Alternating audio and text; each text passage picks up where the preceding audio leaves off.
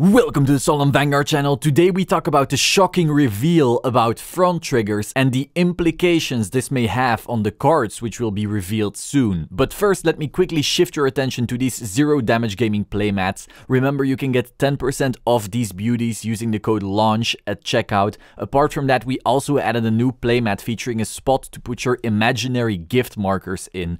As you know or don't know, in standard there won't be any cards in your G-zone, and as it was said, this is where the imaginary gift markers will generally be placed. So use the code LAUNCH to get 10% of any of these playmats, link will be in the description, and let's get into today's video. A few days ago, there was a Q&A stream where Bushiroad answered some frequently asked questions surrounding the new rule changes and the new mechanic. And there was one specific reveal that I found very, very interesting. Front triggers, as you know or don't know, give plus 10,000 power to your whole front row.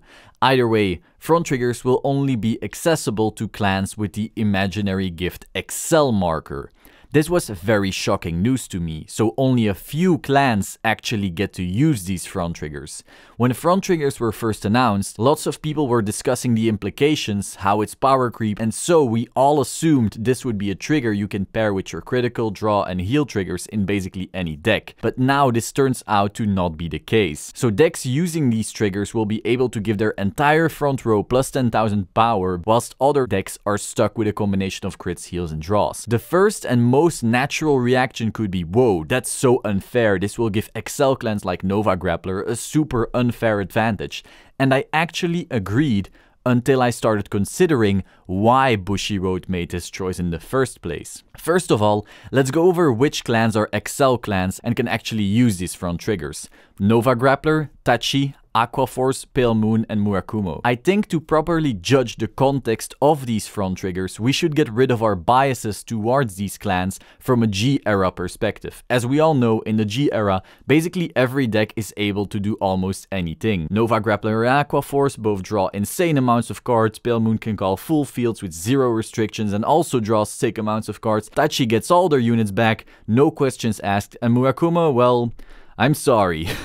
but if we forget about all that power creep and loss of clan identity in the last years and look back at the first seasons of Vanguard, this was not the case at all. Nova, Aqua and Tachi in particular generally had no plus engines, nor did they easily build full fields out of nowhere. So whilst the plus 10,000 to the front row may sound amazingly broken, given our perspective of how these clans run right now, that image might actually be shattered really fast when we consider consider this. Based on the fact that Bushiroad announced that Standard and the Vanguard reboot in general will be way less complex and intimidating than the current G era, as well as the super simple skill New Alfred has, we can assume Accel clans won't actually have any resource gaining engines. There will be no Melania or Shipra to fill hand and build field. If we consider how these decks ran back in the day it was actually really hard for Aquaforce or Nova Grappler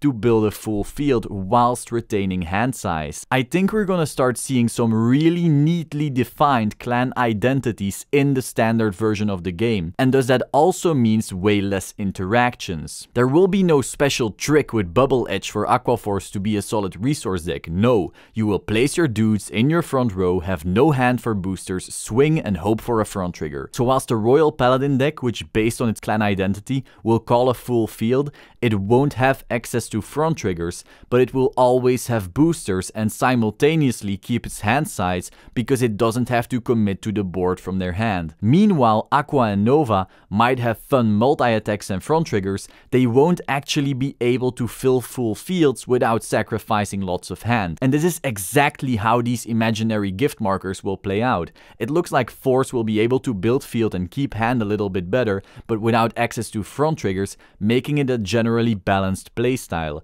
Accel will not be able to build hand, has to slightly overcommit to board and then gets front triggers to strengthen their own slot, making it the most aggressive and risky deck. And Protect will probably end up playing around its defensive shenanigans, but we really didn't get a lot of info on this one apart from the perfect guard. So my conclusion, I believe front triggers are actually the first hint of Bushiroad making standard simpler. There will be very tightly defined borders as far as card design goes, and your clan will probably not have wiggle room.